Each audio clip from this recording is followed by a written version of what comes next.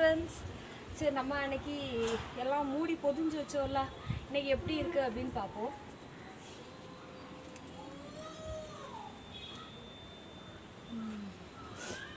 ஆ இங்கே பாருங்க ஃப்ரெண்ட்ஸ் இவ்வளோ தூரத்தை துணியை வச்சு க்ளோஸ் பண்ணி வச்ச அப்புறம் இங்கே பாருங்க.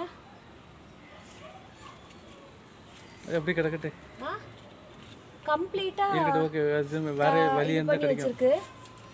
இங்கேயும் அது கலந்து கிடக்கு. இது கலந்து கிடக்குது. சரி நம்ம இதை பறிச்சிடலாம். ஏன்னா எப்படி இருக்குது அப்படின்னு நம்மளும் டேஸ்ட் பண்ணும்ல. ஸோ இது வந்து கொய்யா. எப்படி இருக்குன்னு சாப்பிட்டு பார்ப்போம். கொஞ்சம் விளைஞ்சிருச்சு.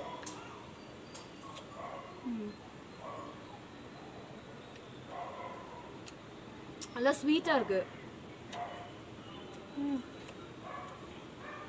சில ஃப்ரூட்ஸ் தான்.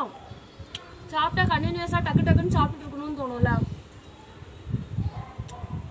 அதனால் பேச முடியல. ஏன்னா அந்த ஸ்வீட்னஸ் வந்து எனக்கு ஸ்வாலோ பண்ண அதை வந்து சாப்பிடணும் அப்படிங்கிற ஒரே டெம்ட்டை கொடுக்குது. நல்ல டேஸ்ட்டாக இருக்குது ஃப்ரெண்ட்ஸ் அது மாதிரி இன்னும் ரெண்டு மூணு காய் கிடக்குது.